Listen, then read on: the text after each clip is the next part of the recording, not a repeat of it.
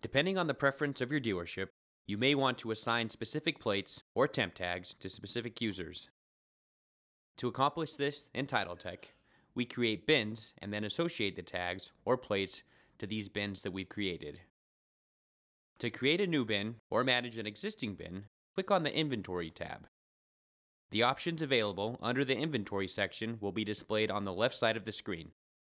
Under the header titled Bins, click Add Bin. In the next screen, you'll add a bin description,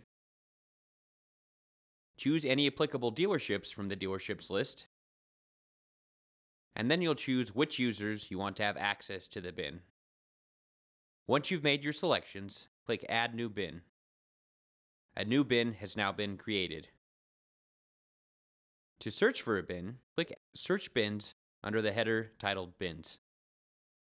Select the dealership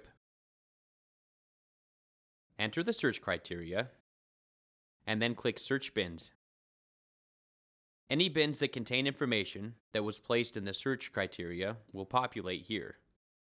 In this example, I'm going to leave the search criteria blank and only search for bins that are in the title TitleTec Georgia dealership and marked as active. Once the search results are loaded, we can then view a list of all the bins that matched my search criteria. This list shows the ID, the description, the active status, the number of temp tags or TOP stickers, and the number of assigned dealers and users. We can also edit the bin or print the list. To view additional information, click on the plus sign next to the description. This will show the dealerships assigned and the users who have access to the bin. To view the available plates, click on the number under Available. This list will allow you to move plates from one bin to another by clicking the checkbox next to the plates or temp tags you'd like to transfer.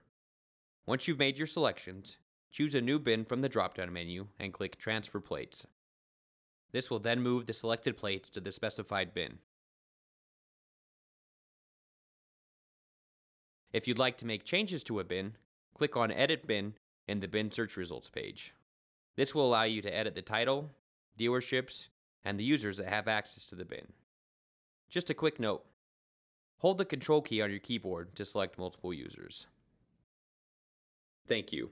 If you have any questions or feedback, please visit us online at www.titletec.com.